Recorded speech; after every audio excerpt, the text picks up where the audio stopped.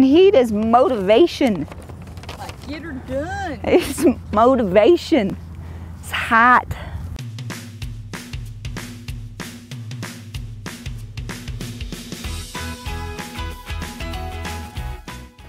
Hey, Kern County, Megan Person, your Director of Countywide Communications, and today we're out at the Bakersfield Meadows Field Airport. A big thank you to Director Mark Witsoe for letting us take over for a minute.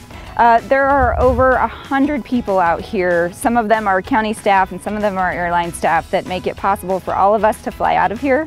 Um, Mark wants to thank all of the county residents who are using the Dallas flight. Your support and participation has made it possible for the second flight to start in early January. So thank you to Mark and all of his staff out here at the airport.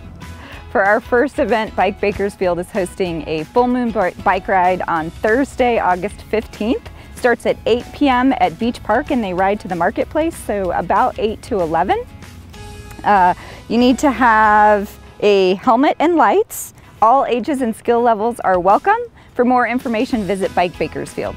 Our next event is the Tehachapi Mountain Festival that starts this Friday the 16th and goes through the weekend.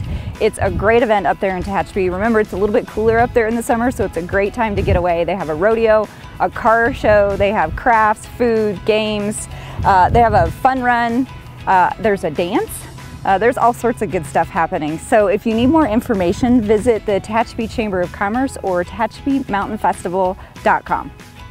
Next up, we want to highlight an event that's happening up in Pine Mountain Club.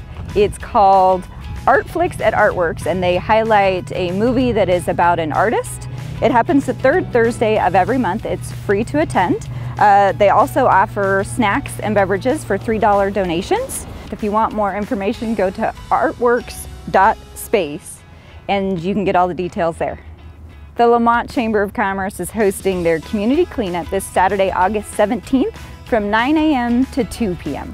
Another quick reminder, we want to let everyone know that the Kern County Libraries are hosting their amnesty program again this year, so until the end of August, if you have outstanding fines or books that you didn't return, you can bring them back and they'll forgive your fines.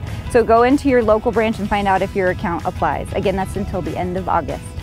Last, we want to congratulate Anae Morales, who is a senior at Wonderful Prep Academy, and she was recently accepted to Harvard so we're very proud of her, we're excited for her future, and we want to wish you a congratulations and best of luck. That's this week around the county, and we'll see you next week.